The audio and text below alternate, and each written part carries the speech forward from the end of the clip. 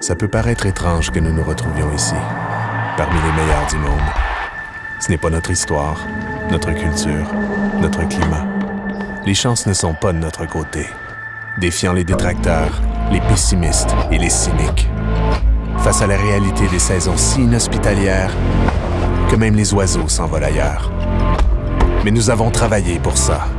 Nous avons migré vers la gloire.